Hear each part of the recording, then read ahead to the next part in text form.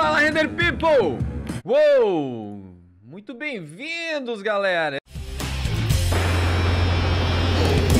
Quando a gente pensa, né, numa setagem para um render ninja, a gente pensa logo na configuração do renderizador. Pensa na potência do computador. Falando mais precisamente da configuração do renderizador, de verdade, quem está acostumado até com o V-Ray precisa realmente cuidar dessa parte. Precisa. Eu lembro que quando usava o V-Ray, meu, eu tinha que cuidar de muitos detalhes para fazer um render rápido. E se tivesse alguma coisa fora, inclusive eu lembro de mandar alguns renders e dizer assim: Meu Deus do céu, isso aqui tá impossível, tá demorando, tá ridículo de tanto que tá demorando. E daí ia ver, puta, esqueci um negócio lá, cara, botei o um negócio errado e daí fudeu com tudo. Então, tipo, tem muita gente que se preocupa, provavelmente por causa desse histórico aí do V-Ray e de outros renderizadores mais antigos, que uma configuraçãozinha mudava tudo. E daí sempre se pensou muito na configuração, na setagem ideal para um render rápido. Mas eu quero te dizer o seguinte, que com o Corona, você de verdade praticamente não tem que se preocupar com isso. Você pode até fazer pequenos ajustes que vão te ajudar, né, a ter uma setagem mais mais rápida, mas usando o Corona, o mais importante importante de todas as setagens para o seu render ser mais rápido é otimizar a sua cena, como um todo, inclusive. E sim, tem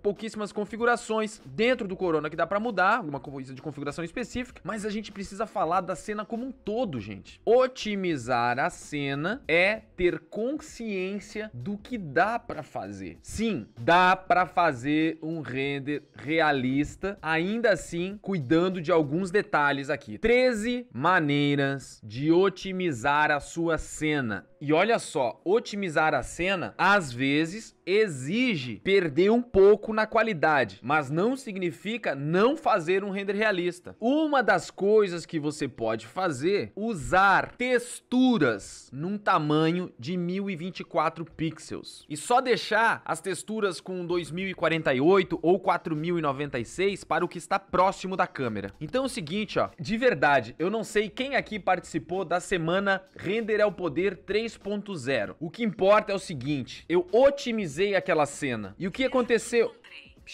E muita gente falou o seguinte: eu não tô acreditando. Eu tô usando a cena que o André disponibilizou e essa cena externa, com grama, com tudo, com HDRI, renderizou em 6 minutos. Como é que é possível? As minhas cenas levam uma hora, duas horas. Primeira coisa que eu fiz nessa cena foi utilizar texturas de 1024 pixels. Eu peguei todas as texturas que eram 4096 e deixei com 1024. Foi a primeira coisa que eu fiz. Então, essa é a maneira número 1. Um. Gente, anotem isso aí, é importante. Usar texturas em 1024 pixels pixels, beleza? E olha que bacana, não sei se você sabe, mas dá para criar proxy de texturas. O 3D Studio Max faz isso. Você consegue pegar todas as texturas e, e, ele faz sozinho isso com todas as texturas, tá? Mas daí eu tenho que fazer um tutorial sobre isso. Mas o que importa é que dá para usar texturas com 1024. Se você não sabe fazer isso, você pode simplesmente abrir as texturas no Photoshop e salvar uma versão maior delas, tá? Tudo fácil. Passo 2 dos 13, não usar displacement. Várias texturas, principalmente quando você cria texturas a partir de mapas já certinho PBR, quando baixa da Quixel e tal, ele já vem embutido ali um displacement, mas nem sempre é necessário utilizar. Ele é muito importante quando tá perto da câmera, mas quando tá longe não é. Então é o seguinte, ó, não usar displacement é uma ótima maneira de você otimizar sua cena. A número 3, usar gloss no mapa somente quando for necessário. A gente tá fazendo vários debriefings aqui e o que que acontece? Várias vezes eu falei, poxa, tem um piso piso que falta um mapa de glossiness. Tem um painel de madeira que falta um mapa de glossiness. Agora, de verdade, no pé da cadeira não precisa de um mapa de glossiness. Pode ser só uma cor, sim. Então, assim, ó, a menos que esse pé da cadeira esteja grudado na sua câmera e você vai enxergar. Então, você vai ter que fazer o que, gente? Você vai colocar somente quando for necessário. Esse é o 3, tá? Porque usar ele desnecessariamente vai aumentar o seu tempo de render e não faça isso. 4. Não usar reflexo nas paredes e no gesso e no teto. Ai, vai ficar mais mais bonito. Vou botar um reflexo aqui nessa parede e um reflexo no gesso. Meu Deus, isso vai gerar um monte de ruído, vai demorar para limpar. A gente tem duas coisas. Se você quer fazer um render extremamente fiel ao sei lá o que lá, tá tudo certo, mas saiba que vai demorar. Agora, a gente tá falando aqui sobre como fazer um render realista rápido. Então não utilize reflexo nas paredes e no gesso, porque se você fizer isso, vai aumentar o tempo de render. Número 5, criar proxy de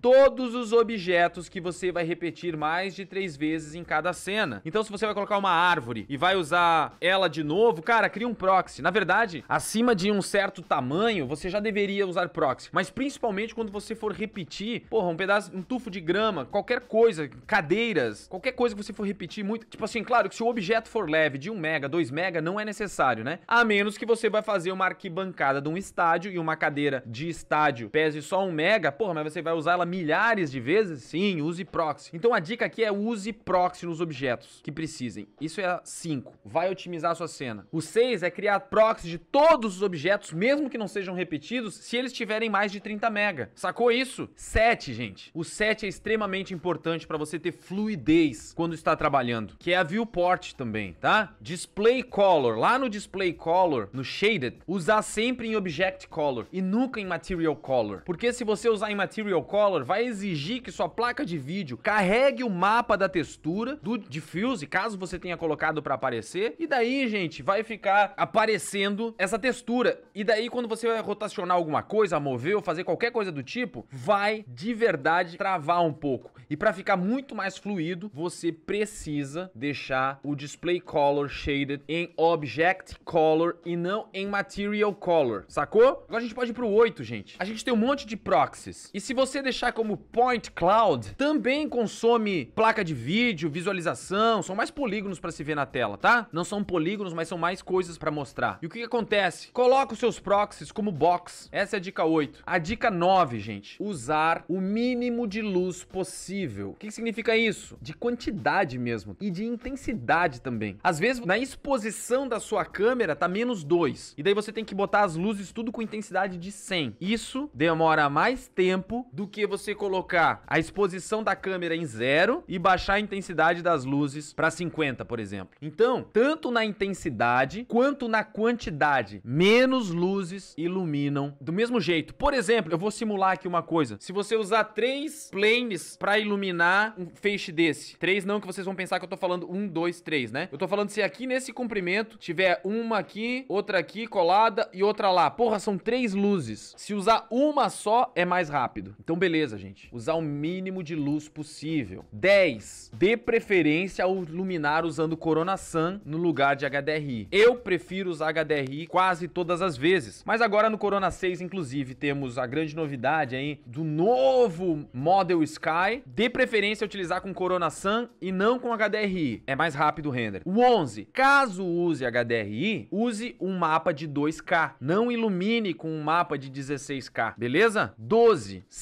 Simplifique os materiais prontos. O que, que são os materiais prontos, gente? Você comprou um bloco de um sofá, você colocou ele na cena e você nem se deu ao trabalho de pegar com a pipeta para dar uma olhada nisso. Você simplesmente deixou ele lá. E às vezes tem um monte de subdivisão, tem um material altamente complexo, então se você precisa otimizar sua cena, simplifique os materiais dos objetos prontos. Diffuse, Reflex, Glossiness, Normal Bump e tal, né? 13 não use o Light Mix. O Light Mix faz com que aumente, sim, o uso de memória, consequentemente demora um pouco mais, entendeu? O seu render. Então, se você evitar utilizar o Light Mix, você vai ter uma otimização. Otimização da cena, gente. Vamos lá, eu preciso falar sobre essa otimização da cena, porque você precisa entender que não existe um computador da NASA que vai renderizar tudo. Crie uma cena base de arquitetura. Como é que é isso? Como é que eu faço? A gente pegou um empreendimento que tem uma área de lazer enorme. Então eu pego e seleciono a parte da piscina e do gazebo que eu tô vendo, agrupo aquilo, boto num layer e escondo, caso eu esteja renderizando, uma parte que eu não tô vendo. Então você precisa ter um, um arquivo base e daí eu abro o arquivo base e importo a parte agrupada, por exemplo, piscina e deck. Então é o seguinte, ó, crie uma cena base de arquitetura, crie grupos de acordo com cada câmera e delete o resto. Precisa fazer isso. Como renderizar, gente? Eu vejo muita gente trabalhando às vezes com render interativo full na tela. Gente, isso vai dar merda, né? Pra travar o teu computador, pra fechar, pra tudo isso, é dois toques. Usa o render interativo o menor tamanho possível. Eu uso em 800... Eu tenho uma de uma máquina e uso em 800 pixels, assim, ó, porque é só o suficiente para poder compreender o que eu tô fazendo. Fazer um render com noise level limit mais alto, de repente entre 6 e 7. Isso definitivamente vai diminuir um monte o seu tempo de render, do que se você deixar em 3,5, 4, 5. 3. Use o denoiser e use o denoiser Intel. Ele é mais rápido do que o high quality e praticamente a mesma coisa. Inclusive, em alguns testes, para mim, ele fica melhor. E ele é muito mais rápido. O denoiser Intel 09. E não se preocupe, porque se você usa um processador AMD, eu também uso. O nome denoiser Intel não é porque funciona com processadores Intel, mas sim porque é uma tecnologia da Intel. Mas funciona com qualquer processador, beleza?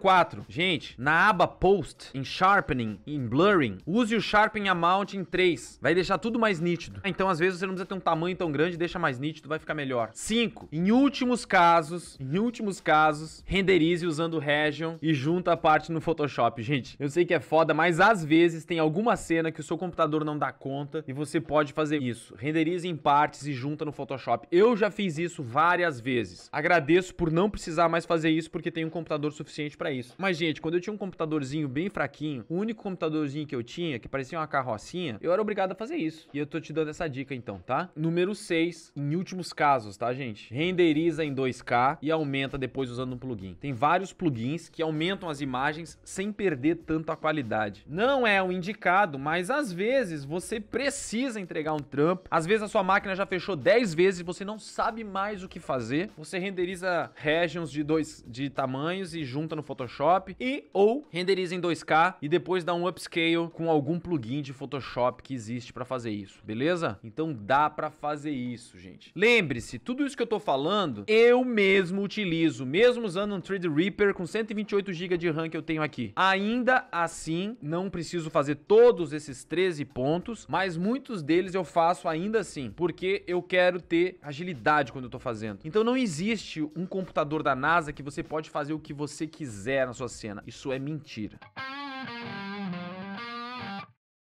Qual o tamanho indicado para entrega de imagens? Nós entregamos os primeiros tiros em 2K e a entrega final em 5K, 5 ou 6K às vezes, tá? É possível trazer um projeto do Revit BIM para o processo do render brabo? É, eu tenho aulas inclusive mostrando a fazer isso. Usa projetos, extensões do BIM, Revit e tal, né? Para poder importar para o Max e fazer um render realista, tá? Usando o método. Dá sim. Under, qual é a potência do PC que usavas antes? Gente, eu comecei fazendo render lá atrás, então eu comecei com a AMD K6. Eu não sei se vocês sabem, não tem, se vocês têm ideia do que é isso. De verdade, o meu primeiro PC, eu acho que foi um Pentium 2, depois um Pentium 3, depois um AMD K6, depois um Pentium 4, depois um AMD, eu não lembro. Mas eu já passei por todos os computadores, você pode ter ideia, gente. E 3, e 5, e 7, e 9 ainda não, porque eu passei pro AMD. Mas todos os computadores que já existiram, eu acho que eu já tive. É possível alcançar o mesmo resultado do render brabo com Blender? Eu não tenho domínio sobre o Blender, mas sim, porque nós temos alunos que fazem o Render Mind e fazem tudo que eu ensino no Blender. Tem um aluno, inclusive, que tem um canal de Blender aí, ele é meu aluno, ele fez até um vídeo dizendo que fez um render do Under Alencar no Blender. É, ele é aluno do Render Mind. Tem até um vídeo dele que ele mandou pra gente, ah, agradecendo que depois do Render Mind ele começou a conseguir trabalhar com a esposa dele. O que significa 4K? O K é uma abreviação para mil. Quando a gente tem texturas, as texturas podem ter mil pixels, dois mil pixels, três mil pixels, quatro mil pixels. E pra gente não dizer precisa ter quatro mil pixels, a gente fala 4K, que é 4 mil, entendeu? É isso que significa 4K. Beleza, gente? É isso, galera. Vou me despedir de vocês.